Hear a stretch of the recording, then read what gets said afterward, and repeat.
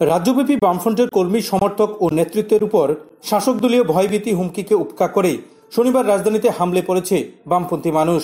আসন্ন লোকসভা নির্বাচনে রাজ্যের পূর্ব এবং পশ্চিম ত্রিপুরা আসনে বামফ্রন্টের প্রার্থীদের বিপুল ভোটে জয় করার আহ্বানে এদিনের এই জনসভাতে রাজ্যের রাজধানী আগরতলা শহর সহ ডুকলি জিরানিয়া, তেলিয়ামুড়া, মোহনপুর থেকে সমাবেশে উপস্থিত ছিল অগণিত বাম কর্মী সমর্থক। সমাবেশে প্রধান বক্তা ছিলেন সিপিআইএম সাধারণ সম্পাদক সীতারাম ইয়েচুরি এবং সিপিআইএম পলিট ব্যুরোর সদস্য মানিক সরকার। এছাড়াও সিপিআইএম কেন্দ্রীয় কমিটির সদস্য অগর দেববর্মা, সিপিআইএম রাজ্য সম্পাদক গৌতম দাস, বামফ্রন্টের শরিক আরএসপি দলের রাজ্য নেতৃত্ব গোপাল দাস সিপিআইয়ের রাজ্য সম্পাদক রঞ্জিত মজুমদার, পশ্চিম ত্রিপুরা আসনের বামফ্রন্টের প্রার্থী শঙ্কর প্রসাদ দত্ত বক্তব্য রাখেন জনসভাতে। নিজ নিজ সংক্ষিপ্ত বক্তব্যে প্রত্যেক বক্তারাই দেশ এবং রাজ্যের বিজেপি সরকারের ফ্যাসিস্ট সুলভ শাসন ব্যবস্থা নিয়ে সরব ছিলেন। বক্তব্যে সিপিআইএম রাজ্য সম্পাদক গৌতম দাস, এক বছর সময়ে রাজ্যে বিজেপি দলের সন্ত্রাস এবং ভয়ভীতির পরিসংখ্যান তুলে ধরে নতুন সরকারের করা সমালোচনা করেন। তিনি উল্লেখ করেছেন, গত এক বছরে এ রাজ্যে সাতজন বামপন্থী নেতাকর্মী খুন হয়েছে। ষোলোশোরও বেশি বিরোধী দলের কর্মীর বাড়ি আক্রমণ হয়েছে, যার মধ্যে দুশো জনেরও বেশি হাসপাতালে চিকিৎসাধীন ছিল। শুধু তাই নয়, পশ্চিম ত্রিপুরা কেন্দ্রের প্রার্থী শঙ্কর প্রসাদ দত্ত পাঁচবার আক্রান্ত হয়েছে নির্বাচনী প্রচারে এবং পূর্ব ত্রিপুরা আসনের বামফ্রন্টের প্রার্থী জিতেন্দ্র চৌধুরীর উপর প্রাণঘাতী হামলা হয়েছে একবার। এই পরিস্থিতিতে বামপন্থীদের ভোটের মেশিনে শাসক গোষ্ঠীকে যোগ্য জবাব দিতে আহ্বান জানান সিপিআইএম রাজ্য সম্পাদক গৌতম দাস। বিজেপি যারা ভারতের সংবিধান মানে না, এরা কেন্দ্রে ক্ষমতা এসেছে, এই রাজ্যে ক্ষমতা এসেছে এবং প্রথমেই আঘাত এনেছে মানুষের সাংবিধানিক গণতান্ত্রিক অধিকারের উপরে। এই গত তেসরা মার্চ থেকে এ পর্যন্ত আমাদের সিপিআইএমের সাতজন নেতা কর্মী সমর্থক তারা এদের বর্বর বাহিনীর হাতে খুন হয়েছে।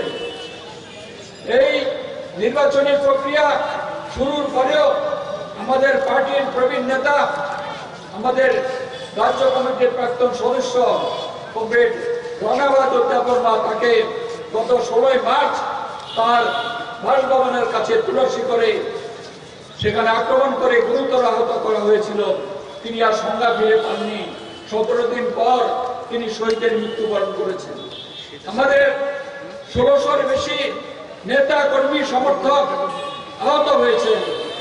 দুশোর বেশি তাদের হাসপাতালে চিকিৎসা করতে হয়েছে। অনেকে সারা জীবনের জন্য তবু হয়ে গেছে।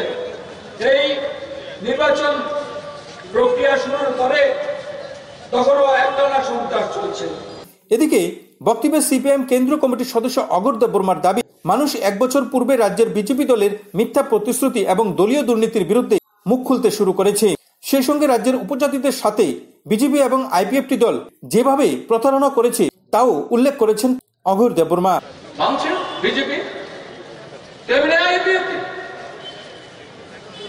যারা উপজাতি জনগণের মধ্যে এমন ভাবের তৈরি করেছিল, বিজেপি আর আইপিএল সরকার আসলে উপজাতিদের আর কোন সমস্যা থাকবে না। আলাদা রাজ্য হবে উপজাতি স্বর্গ রাজ্যে বাস করার মতো একটা উপযুক্ত পরিবেশ তারা তৈরি করতে পারে আর আজকে উপজাতিরা বলছেন, কি হলো এটা? কি হলো উপজাতিদের কাজ নাই, কর্ম নাই, খাওয়ার ব্যবস্থা নেই। ভিক্ষা বৃত্তির জন্য রাস্তায় বেরোতে বাধ্য হচ্ছে উপজাতি জনগণ দুর্গম জনসভাতে বামফ্রন্টের প্রার্থী শঙ্কর প্রসাদ দত্ত নিজের সংক্ষিপ্ত ভাষণ ভোটারদের সামনে নিজেদের গণতান্ত্রিক অধিকারকে সুরক্ষিত জায়গায় প্রয়োগ করতে আহ্বান জানান। পাশাপাশি তিনি অভিযোগ করেন, বিজেপি দেশের ধর্মনিরপেক্ষ শব্দকে যেভাবে বিকৃত করেছে তার যোগ্য জবাব দিতে প্রস্তুতি সেরে নিয়েছে দেশের মানুষ।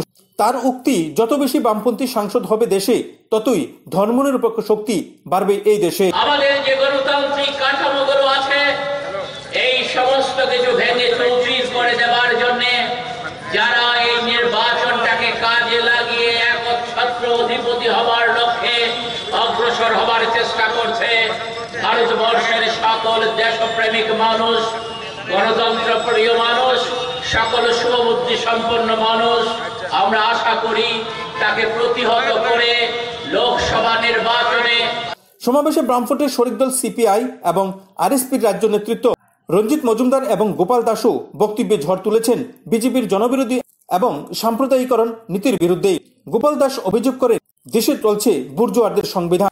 বামফ্রন্টের দুই প্রার্থী শঙ্কর প্রসাদ দত্ত এবং জিতেন্দ্র চৌধুরীর সমর্থনে আয়োজিত এদিনের এই কেন্দ্রীয় নির্বাচনী জনসভাতে একদিকে যেমন প্রার্থীদের বিপুল ভোটে জয় করার আহ্বান জানান বক্তারা, সেই সঙ্গে রাজ্যে গণতন্ত্র পুনরুদ্ধার, দেশে ধর্মনিরপেক্ষতার স্বার্থে বিজেপিকে হাঁটাতে এবং কাজু খাদ্যের দাবি সংগ্রাম এগিয়ে নিয়ে যাওয়ার আহ্বান জানান বক্তারা।